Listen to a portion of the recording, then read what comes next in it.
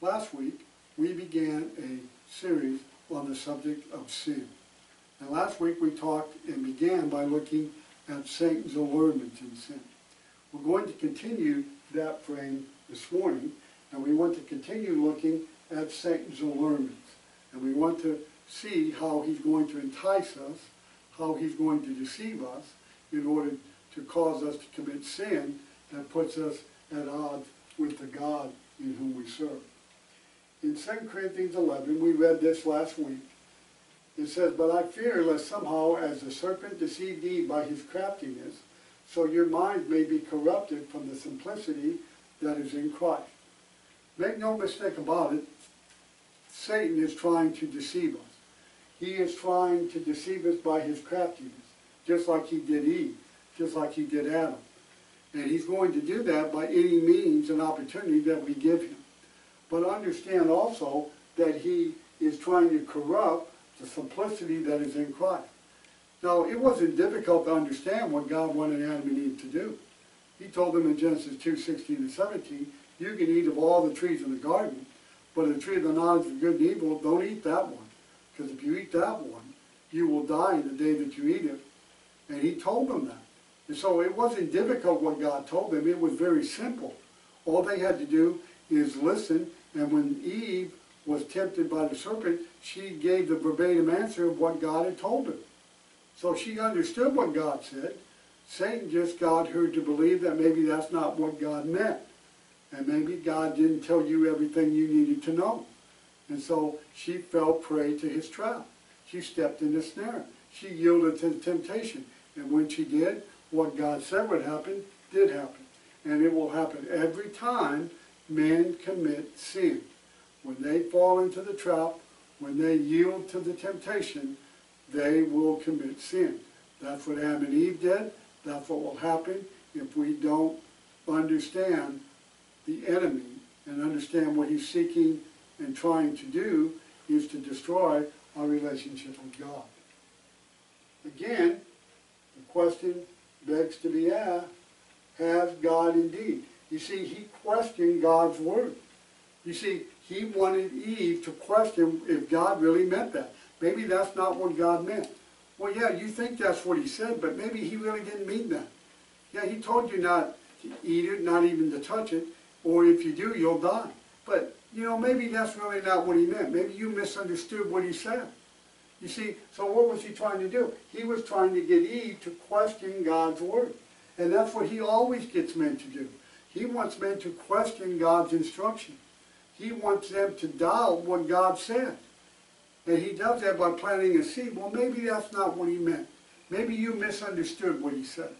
And maybe it really doesn't matter if you do it this way or that way. Again, he's trying to get you to question God's instruction, whether God really means what he says. Again, that's the line. That's the hook. That's the temptation. And we either reject it or we yield to it. And when we do, we commit sin. And so this is the way Satan worked with Adam and Eve. And this is the same way he works today. He wants us to question God's instruction, whether or not it's really relevant, whether or not it's really what he meant, and whether it's really that big a deal if we do it that way or not. That is a device and a mode of Satan, to question God's instruction, to put it to the test whether or not that's really what he meant. Where Satan questioned God today. Satan works in this same way today. He still works in this mode. He still tries to get man to question God. Oh, it's not that God, God's instruction can't be understood. It's not that God has not been plain enough. It's not even that God hasn't been understandable enough. That's not the problem. The problem is Satan is in the business of causing man to question God. And if he can get him to question God, then there's a chance that he'll fall prey to temptation, he'll yield to it, and thereby he will commit sin. That is what Satan's hoping for. He's hoping that man will be convinced that he can question God. Has God indeed said evil company corrupts good habits? Did God say that? Yes, God did say that. In 1 Corinthians chapter 15, 33, do not be deceived. evil companions corrupt good ha- habits. That's what God said. Proverbs thirteen twenty says, He who walks with wise men will be wise, but the companion of fools will be destroyed. Yes, that's what God said. God said you need to be careful about the people you associate with. You need to be very wary of the people that you are in an inner circle with, and people that you allow to influence you, people that you allow to lead you or to guide you into things that are contrary to God. And God says that evil companions corrupt good habits. And he says, don't be deceived. Brethren, when we put ourselves, and ladies and gentlemen, we put ourselves around people who are in the world and walk contrary to God's will and do things contrary to his instruction, then that can rub off on us. And that example can rub off on me. It can rub off on you.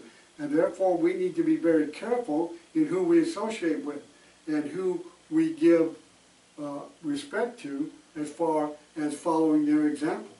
And so, did God mean that? Yes, that's exactly what God meant. And many persons and many people have been led astray because they did not heed God's advice, because they were around immoral people. They were around people that were ungodly, and it led them into doing ungodliness and immoral things themselves. Why? Because they didn't heed God's instruction. They didn't listen.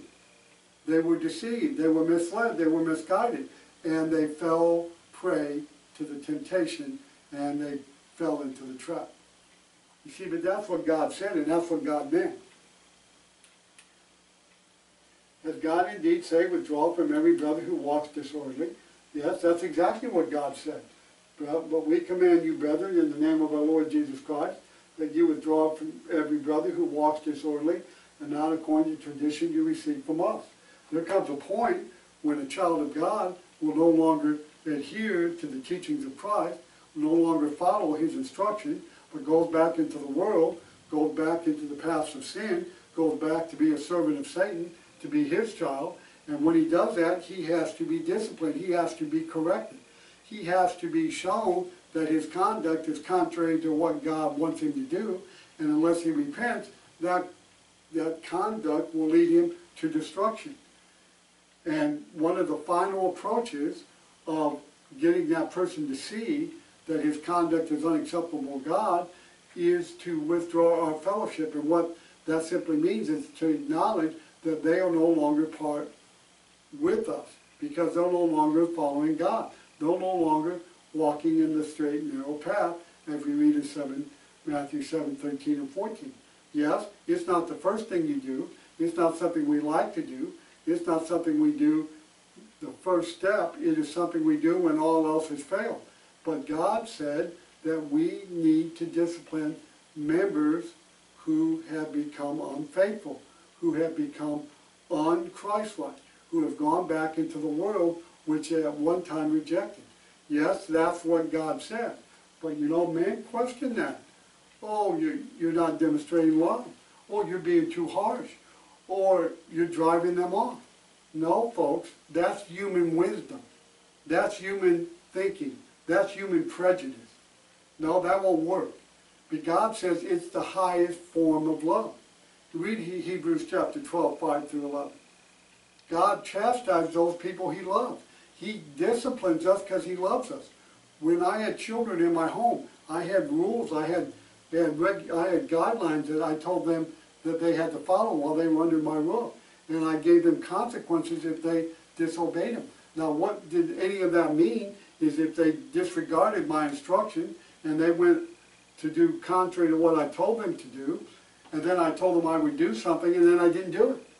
Well, then they wouldn't have any fear of disobeying me. The same thing is with God. God said, this is what I want you to do. This is the course I want you to pursue. This is the things that I want you to do in service to me.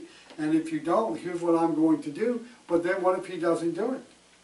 Well, if he doesn't do it, then you don't have any fear of disobeying him. You see, that's what God said. Now, I know Satan and others, even some of God's own children, want to water this down. That, oh, God doesn't want you to do that because it's too unloving, it's too kind, it's too unkind, it's too harsh. No. God said when all else fails, you have to do that in order to save your soul. Read 1 Corinthians 5, 1 through 11. That's what he told the church of Corinth to do when they were ignoring a brother in sin. They were told to deliver his flesh to, to Satan, that his spirit might be saved in the day of the Lord. You see, that's God's way. That's what God said. Either you believe it or you don't. But don't question God. He, he, he spoke to be understood. He can be understood. It's up to you and I to determine whether or not we're going to believe him and we're going to do it his way or we're going to put our own opinion in that. But no, that's what God said. And we, if we're going to be faithful to God, that's what we're going to do. As God indeed said, a woman is not to teach or have authority over a man, but to be in silence. Yes, God did say that. And I do not permit a woman to teach or have authority over a man, but to be in silence. Now, in the context here, we're talking about in the Lord's church. We're talking about in the church. That doesn't mean that she's inferior. It doesn't mean she's not intelligent. It doesn't mean that we think that we're better than her. We're talking about roles. We're talking about roles that God gave man and woman. And in the role in the church, men were given the spiritual leadership. They were given the responsibility of being the spiritual leaders. And in the Lord's church, men are the spiritual leaders. That doesn't mean there's nothing that men, women can do, and it doesn't mean that they're not as smart as men, and it doesn't mean they're inferior to men. It just means they have a different role. But today, you've got women preachers, you have women elders, you have women song leaders, chorus directors, you have women in, uh, even in some churches, of being overseers and being elders, and in the religious world, you have them being bishops, you have them being uh, archbishops. You see, everything's changing. Why? Because that's what men want. That's what men demand. But you see, God said that that wasn't to be done. They were not to usurp authority. That means they were not permitted to be an authority over man. In the spiritual realm, they are limited to be in a submissive role. Read Ephesians chapter 5. You see, but the woman feminist movement has made it their lifelong uh, aim to show that that means that men think you're inferior and that men think that you, you have no value and that you're worthless. Nothing could be further from the truth. Any person that makes that argument never read the Bible. The woman has a very vital role. She has a very important role. And it is necessary in order to make a home complete, and it's, it's necessary to make a marriage a good marriage. It doesn't mean that she's inferior. It doesn't mean she's a second-class citizen. It just means that she has a different role. Yes, that's what God said. But Satan said, well, that's not what he meant. And so we can change it. We can alter to fit the, the thinking of the day. And without any repercussions, God says you can't. That's a violation of his law, and that means that that's sin. 1 John chapter 3 says, if we miss the mark, we commit sin. 1 John 3 verse 4. And when we go beyond this instruction, we commit sin. That's what God said. Now either you believe it or you don't, whether you accept it or you don't. But the problem is God spoke in a very clear way to understand. It's just whether or not we're going to believe it. As God indeed said, do not envy the oppressor. Yes, he said that. Do not envy the oppressor and choose none of his ways. For the perverse person is an abomination to the Lord, but his secret counsel is, is with the upright. You know, we're not to envy the oppressor. We're not to envy the person that's in sin. Oh, he may, monetarily, he may do well. He may do, he may do lots of things that benefit him personally. And he may not have any physical problems, and he may not have any physical worries. He has money, he has possession. Everything's fine. But we should never envy that person. We should never envy the person who is walking in an ungodly way. Why? Because we don't understand what's truly valuable. And so, is that what God meant? Is that what God said? Yes, he said, don't envy the oppressor. Don't follow his ways. The men who oppress other men, don't follow that. Don't do that. Don't retaliate. Don't try to get even. That's the wrong course to pursue. You overcome evil with good, Romans chapter 12, verse 21. That's how you overcome evil with good. You don't overcome evil by doing more evil. You don't, you don't overcome oppression by being, a, being an oppressor yourself. No, that God says that doesn't work. God says that's counterproductive. Well, either you believe it or you don't. Whether you accept it or you don't. And if you allow Satan deception to get in there, then you're going to practice things that are contrary to God's will, and you're going to do things that are an abomination to him. It makes him physically sick when people do things that are contrary to his will. And so either God meant it or we didn't. As God indeed said, do not boast about tomorrow. Do not boast about tomorrow, for you do not know what a day may hold. James chapter 4 teaches the same truth. Teaches the same truth that life's a vapor that appears for a little while and then man vanishes away. We need to understand time is not something we control. God controls time. God controls time and can bring it to a close anytime he wants to. He could send his son anytime he wants to. Our life could come to an end at any time that it happens. And we're all going to die according to Hebrews chapter 9 and verse 27. So we're all going to die. We're all going to face death. And so we need to understand that we need not to boast about tomorrow. You don't have tomorrow. Yesterday's gone and all you have is today and you have no promise of tomorrow. And so you need to focus on today. That's what God said. Do we understand that? Do we understand not to get ahead of ourselves and not to live in our past and not let our past define us? Oh, we've made mistakes. We can overcome them. We can learn from them. We can do better. But we can't unwind them. We can't undo them. And we can't get ahead of ourselves because we don't have any guarantee of another day.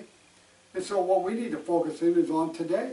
We need to focus our mind and attention on today. And he told us in his word that we should not boast. We should not boast about tomorrow because we have no guarantee of tomorrow. We need to understand who's running the clock. We need to understand whose hands we are in. We're in the hands of God. And we need to acknowledge that and we need to submit to that. And so, yes, that's what God said. Don't boast about tomorrow because you have no guarantee of it. 2 Corinthians 6 2, now is the accepted time. Behold, now is the day of salvation. If you're listening to this broadcast this morning, and you know your life's not right with God, and you know there's things that you need to change in your life, you know there's things that you need to correct, you know that you're guilty of sin, you know that you need to do some things and get your life right with God, and you're going to do that, but you're going to work some things out in your life. You're going to get some other things accomplished first, and then when you get those things accomplished, then you're going to give your life over to the Lord. Friend, that's a dangerous way to think.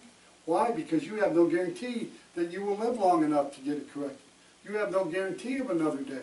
You have no guarantee that you'll be able to live long enough to get your personal life in order, and then you'll give your life to God.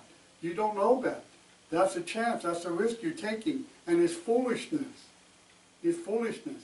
If you're within the sound of my voice this morning and you know your life right, right with God, you need to find out how to get it right. And you need to do that today, not tomorrow, not yesterday. You need to do it today. And you need to understand that you should not boast that you have plenty of time because you don't know. In Luke chapter 12, the man that built barns because he had so much produce, and he built bigger barns and he stored up all of his grain. And he was just going to sit back and eat, drink, and be merry because he was taken care of for years. God called him a fool. God called it, the Lord called him a fool in Luke chapter 12, verse 20. He says, Tonight you, your soul will be quiet. Tonight you're going to die. And then what about all the things that you have stored up? Whose are they going to be? They're not going to be yours. So we need to understand, ladies and gentlemen, that God means that we need to be thankful for today and not to get ahead of ourselves.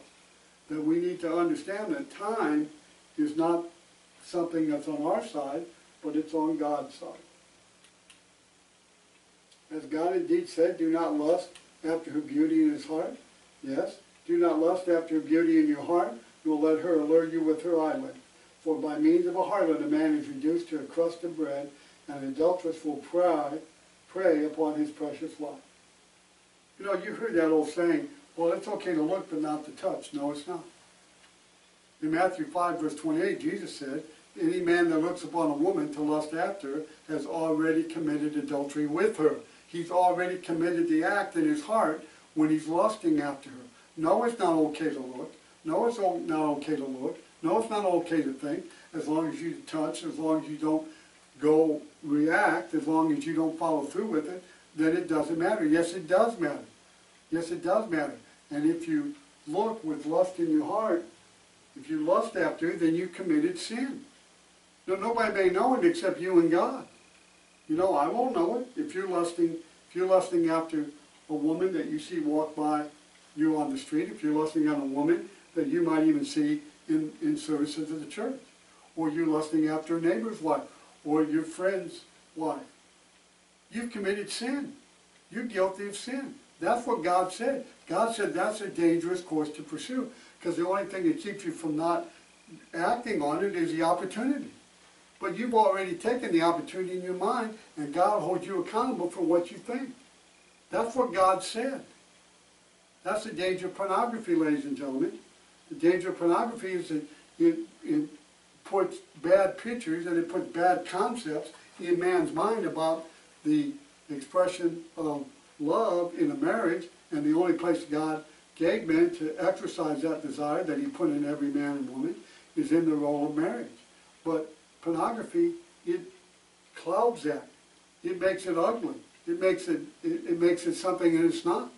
And then it causes man to be warped in his understanding of sexuality and of physical intimacy. That's the danger of it. It gets in your mind, it gets in your head. And so that's what God warns us about. Lust and the danger of it and what it can cause to do to us. But maybe God didn't mean that. Maybe he just meant don't do it. It's okay to think it. It's okay to look as long as you don't touch. No, God didn't say that. God said just the opposite that. He said it's the same when you look to lust, you're just missing the opportunity to do it. Now, did God mean what he said? Yes, God meant what he said. That's way sin works. It begins in the mind. That's where sin gets its hold. That's where it gets its foothold in your mind, and then it acts out in action. In Matthew 5, 28. I've just quoted that to you, that if you look at a woman to lust after, you've already committed adultery. It's as if you've already done it with God because you've thought it in your mind. As God indeed said, do not associate with one who flatters you with his lips. Yes, that's what God said. He who goes about as a talebearer reveals secrets. Therefore, do not associate with one who flatters his, with your lips. Proverbs 26, 24 through 28 teaches the same truth, as does Proverbs 18, 21. We need to understand that men might flatter you, may build you up, may make you feel good about yourself, but do they have an agenda? Is there something they're trying to gain from you? Is there something they're trying to get from you? Again, you know, I heard the old saying one time, be wary when everybody speaks well of you. When everybody speaks well of you, something's wrong. That's a principle that's discussed in the Bible. When everybody thinks you're a great person, you're doing great things, and you begin, as we say, to believe your press clippings, then you, you're in a position where you can be tempted and where it will lead you into sin. And so God, God did say, don't associate with people that build you up. Don't associate with people that's going to tell you what you want to hear. You want to associate with people that will be honest. That when you make a mistake, they're going to tell you. When you're making a bad decision, they're going to tell you. When you're making a bad choice, they're going to tell you. They're not going to let you go down a road that will lead you to destruction. They're not going to let you make a decision that's going to harm you. Why? Because they love you. But somebody that's builds you up, as we might say, be a yes person that tells you everything you want to hear, that's a dangerous person to be around. Because he's not going to be truthful to you. He's not going to help you. He's going to hurt you in the, in the long run. So it, it, it, it feeds our ego. It feeds our pride. But in the end, it will destroy us. And so we have to be smarter than that. And the only way we can, the only way we can, is that we listen to God's instruction. That we listen and do His will. Does God indeed say that wine is a mocker? Yes, that's what he said. Wine is a mocker, and strong drink is a brawler, and whoever is led astray by it is not wise. Proverbs chapter 23, verse 29 through 35 talks about how it looks harmless while it's in the cup, it's swirling around, the red color, it looks harmless. And yet when it bites, it's like a, it's like a, a viper when it bites. And then when he, he talks about a man being hit with the mask when he's under the influence of alcohol, and he doesn't even know. And then what he will he do? He'll try to get when he wakes up, he'll go after another drink. The Bible is full of examples and passages of principles that man needs not to be deceived by the dangers of alcohol. And yet, man, even those who claim to be religious, claim that they can social drink, claim that they can drink under some circumstance, they can drink in moderation, they can drink socially, and that, all that will be okay. Yet, read 1 Peter chapter 4, verses 1 through 4, And in those verses, it condemns every level of drinking, socially, partying, and drunkenness. It's all three levels are condemned in the New Testament in 1 Peter 4, verses 1 through 3. And so, ladies and gentlemen, either you believe God or you don't. Whether you, you accept God or you don't. God says that's sin. God says that will cause you relation with, with me to be marred. That will lead you into further problems. And it will destroy the good in your life. That's what God warns you about. He tells you that over and over by principles in many different passages. Well, do we believe him or not? Or are we going to let our own opinion, our own pride, and we decide as long as we do it in moderation, as long as we don't go overboard, as long as we don't, uh, as the saying is, that we don't get sloppy drunk, that it's going to be okay? No, God says it's not okay. God says that's sin. That's a transgression of His law, and that's conduct that's unbecoming of one that's called His child. He says to stay away from that. There's a danger in that. It controls your mind. It causes you to act and to think and to talk and to do things that you normally wouldn't do. Why? Because you're under the influence of something that's controlling you. You see, does God mean what he says? See, Satan, Satan is trying to get you to question God. Well, you know, God, he didn't, I know he said that, but that's really not what he meant. You know, and you, you, God gives you some wiggle room. No, God doesn't give you any wiggle room. Again, that's Satan's bait. That's Satan's snare. That's what he's trying to get you to do. Just like in the beginning. In closing, I want you to remember the first time that Satan did this. He did this with Adam and Eve. Did God say that you can't eat of every tree in the garden? Oh yeah, Eve told him. That's exactly what he said. He said we could eat of all the trees except the one in the midst. And he said, don't eat of that one, because if you eat of it, you'll die. That's what God said. But then Satan just added one little word. No, you won't die. God knows that in the day of it, you eat of it, you'll be like God. You'll know, be able to discern between good and evil. You see, he caused Eve to question God. Caused Adam to question God. Maybe that's not what he meant. Maybe I got some wiggle room here. He tried that. He deceived her. He misled her.